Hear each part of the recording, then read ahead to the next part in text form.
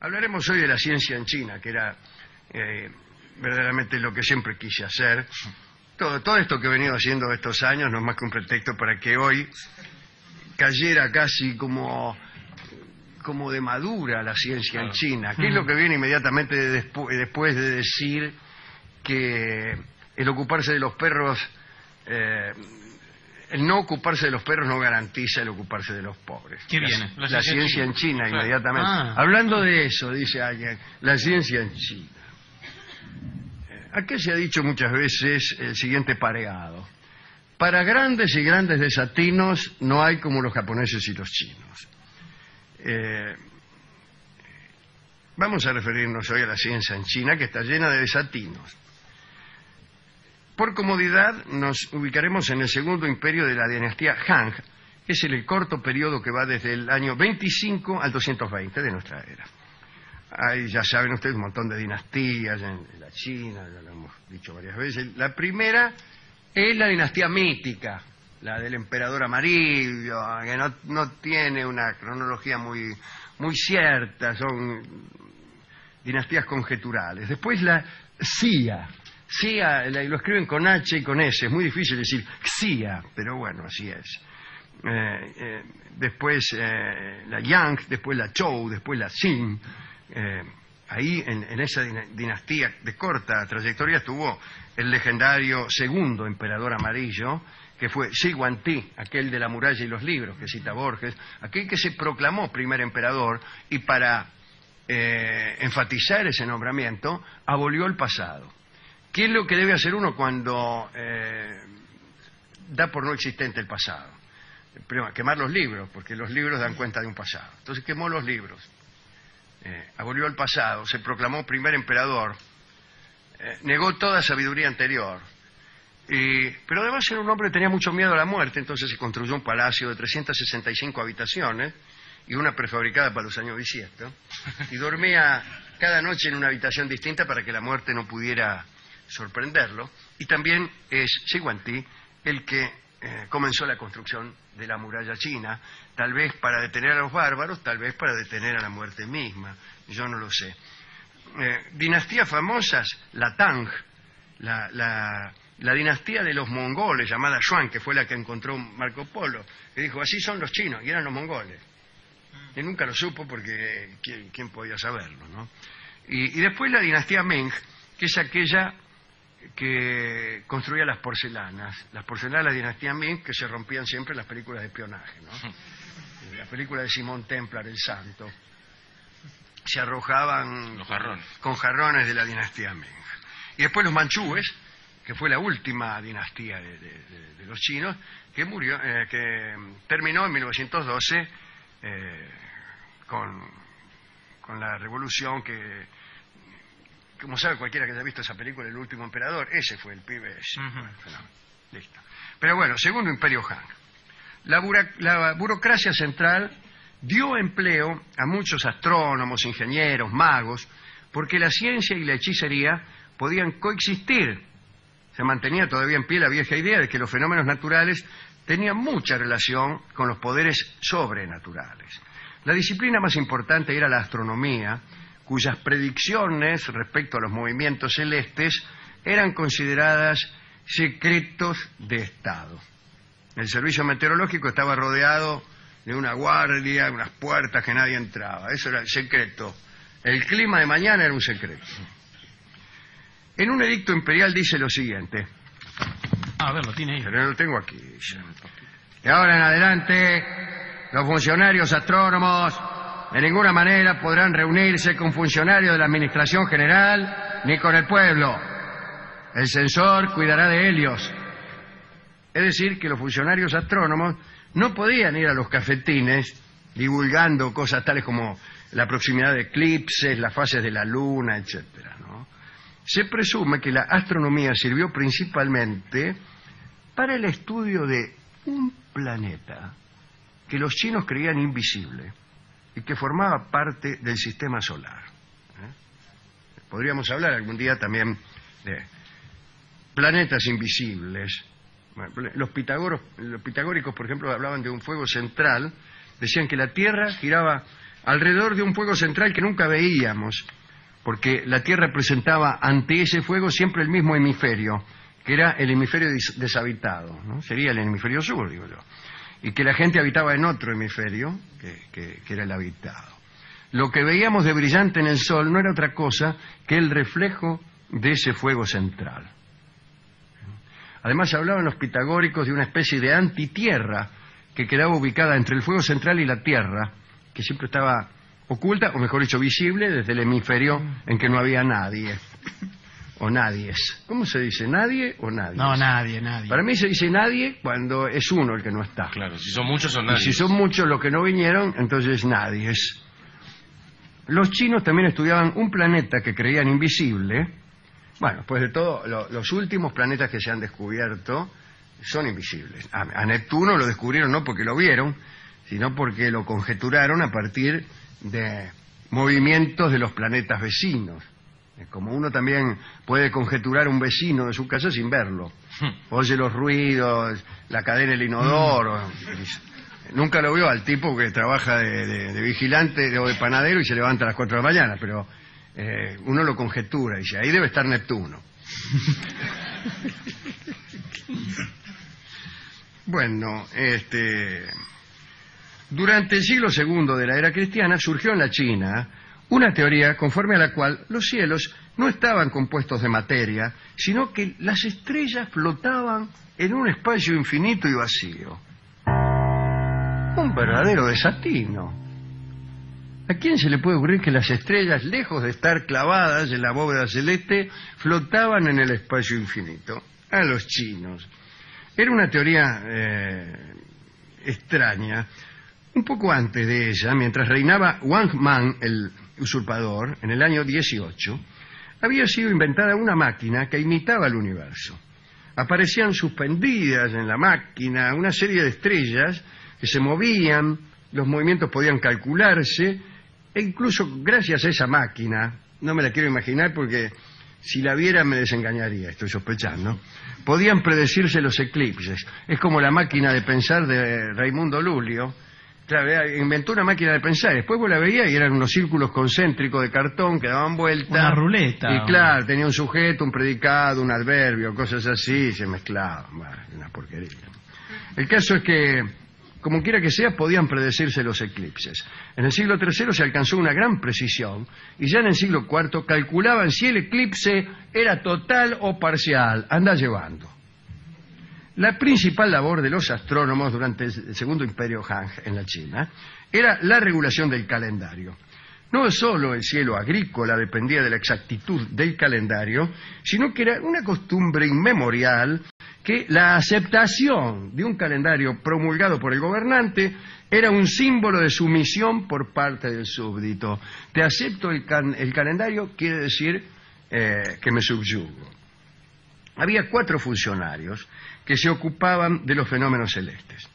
El astrónomo imperial, que se encargaba de las observaciones, Eh, y el, y el calendario propiamente dicho. ¿no? Después estaba el astrólogo, que era el que interpretaba y predecía. El meteorólogo imperial, que se ocupaba de las condiciones del clima. Y finalmente el relojero imperial, que estaba encargado de la supervisión de clepsidras y relojes de agua, que son las clepsidras. Eh, los inventores y los científicos eran miembros de la clase dirigente en China, cosa que no ocurría en otras sociedades donde lo- los científicos en general eran una manga de crotos. Me he de referir a los terremotos, que siempre preocuparon mucho a los chinos, más que nada porque creían, hemos hablado larguísimamente alguna vez de esto, creían que el príncipe estaba de algún modo conectado a los fenómenos naturales y que ciertas actitudes del príncipe influían sobre el clima, sobre los volcanes, sobre las lluvias, sobre las mareas. Y creían que los terremotos eran una señal inequívoca, o mejor dicho, que los terremotos eran causados por la inconducta de los gobernantes. Era una protesta del cielo ante las injusticias o estupideces del emperador. Bueno, calcule que hay naciones, si esto fuera cierto, que deberían estar moviéndose todo el tiempo. Retrocedamos hasta el año 800. Los chinos poseían un conocimiento exacto de la sismología. Bueno, es mentira esto. Digamos que en el año 800 empezaron a registrar los movimientos sísmicos y anotarlos en un libro. ¿no? Ese era el conocimiento exacto que tenían. Tampoco eran tan piolas, y ni siquiera nosotros somos tan piolas. Son impredecibles. Hoy en día no se pueden predecir los, los terremotos, así que, que viene.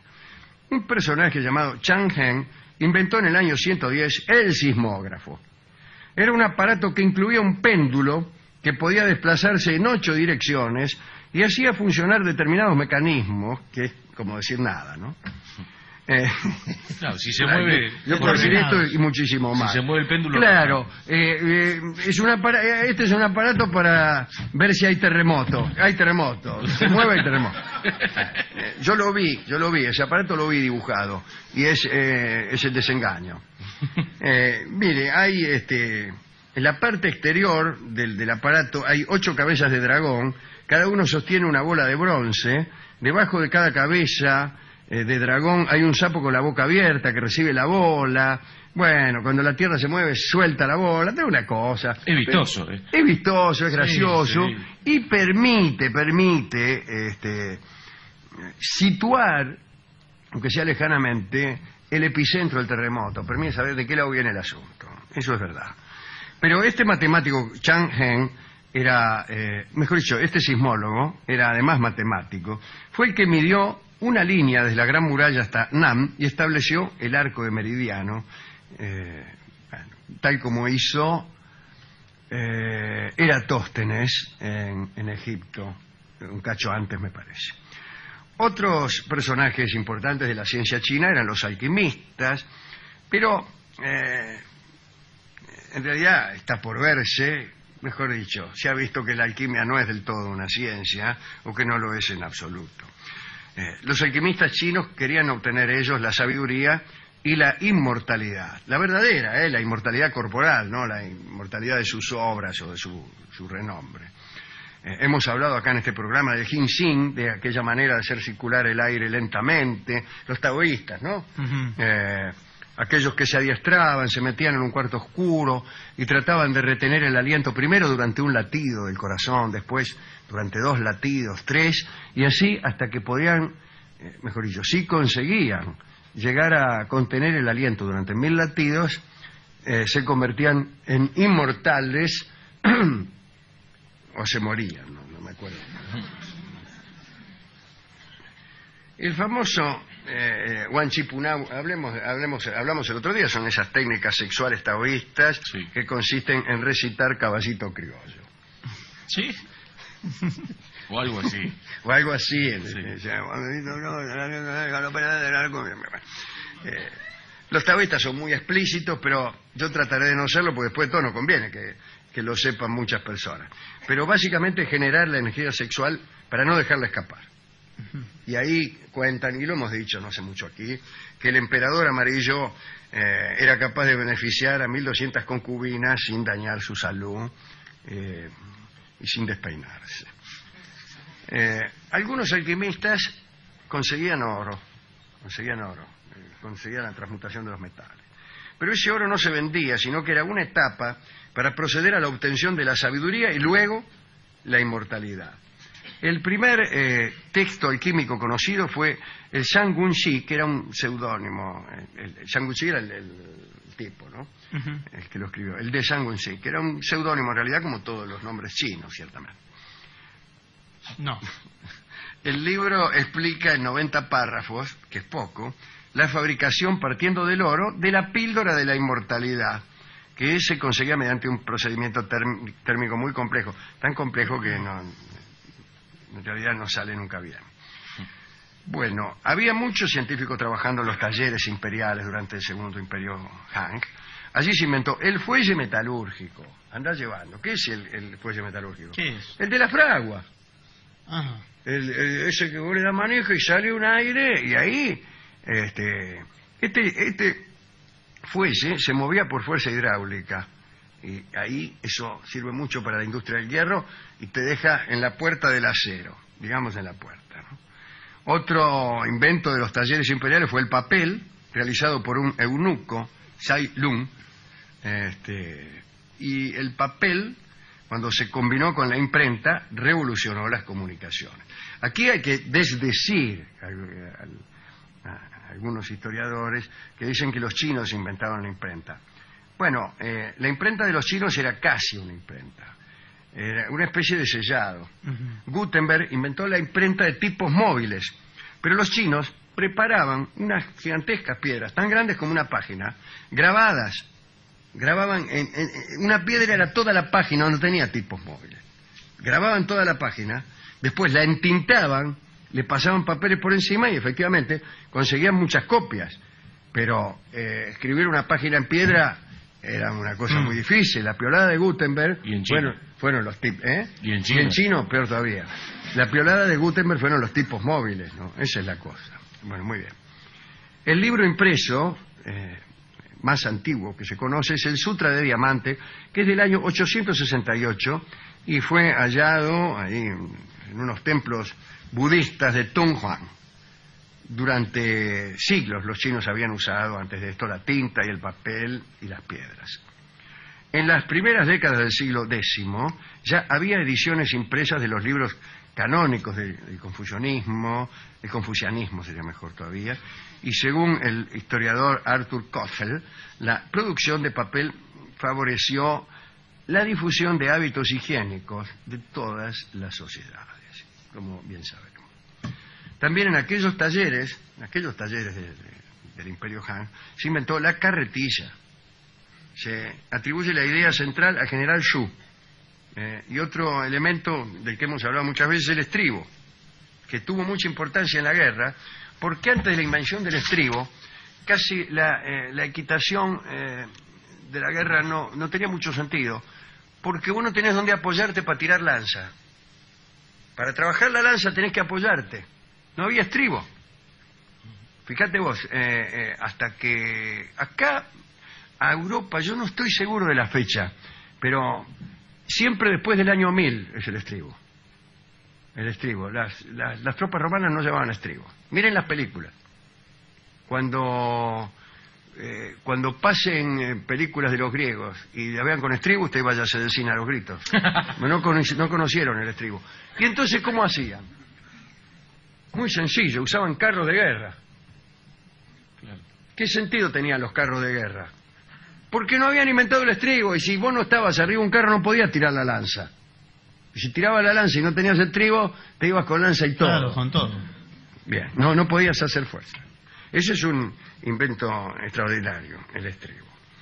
Bueno, eh, hablemos del timón también. El timón, el timón de popa, ¿no? El timón que conocemos ahora. Lo inventaron los chinos durante el Imperio Han. En el occidente manejaban los buques con remos. Y esto limitaba mucho el tamaño de los buques. Cuando Vasco da Gama dobló el Cabo Buena Esperanza, los buques que usó Vasco tendrían unas 300 toneladas. 60 años antes, el almirante Qin Ho, el más famoso de los eh, almirantes de la historia china, navegó las costas orientales del África con unos barcos de 1.500 toneladas, porque ya tenían el timón de popa. Bueno, eh, también estaba, digo, así como una breve mención para la medicina china, eh, bueno, el yin y el yang, todo eso, los cinco órganos importantes, el corazón, el hígado, el vaso, los pulmones y el riñón. Y esto se le relacionaba con los cinco elementos que eran el agua, el fuego, la madera, el metal y la tierra. Ah, todas esas cosas. No ponían cerebro. Ah, Entre los no, importantes. para nada. Pero eso no, no era muy importante acá, la medicina china. Remedios hechos a base de plantas, de insectos. Sí conocían el pulso. Wang Shuho en el año 301 explicó eh, que seis pulsos podían ser examinados para descubrir la condición de los órganos internos de cada uno. ¿eh? Eh, y el tipo describía 52 tipos principales de pulso, incluyendo nueve que significaban la muerte inminente. Pero no, no hablaremos de la medicina china. Todo esto lo quiero decir para decir que los chinos inventaron todo. Y sí, la verdad. No ni, ni- ni hablamos de la pólvora, porque lo inventaron no en los talleres del Segundo Imperio Han. Los cohetes, los famosos cohetes, cuando fue Marco Polo, que se encontró ya que están los chinos, que eran los mongoles, eh, estaba ahí Kublai Khan y le dice a los cortesanos, a ver, dice, tírenle unos cohetes acá a este a los señores Polo. ¿eh? que estaban Marco Polo, el tío que se yo, empezaron a tirar cohetes, ¡pua, pua! Y, Marco Polo, y bueno, está bueno, yo, padre, padre, ya está. No se entusiasma. Eh, pero también son un invento chino. Todo es un invento chino. Todo. Todo, absolutamente todo. Menos la virome. Eh, la virome es argentina y todos los demás inventos son chinos. Pero qué curioso que hayan inventado el estribo. Para, para un Sí. gaucho, que un estribo sea un invento de un chino. Pero todo, todas las cosas gauchas las inventaron los chinos también. Todas las cosas, las Todas. boleadoras. Las boleadoras, los chinos. La rastra. ¿En serio? La rastra, los chinos. El rebenque. El rebenque, los chinos. El recabo y la montura, los chinos. Y el tirador, los chinos. Por eso le dicen la China. Por ella, la mujer le inventaron los chinos.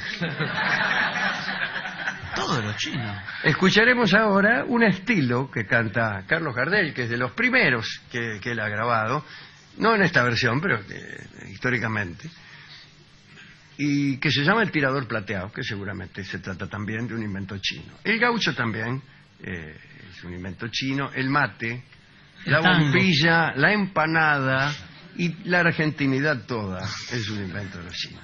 Un bello estilo, escucharemos, un hermoso estilo, el tirador plateado.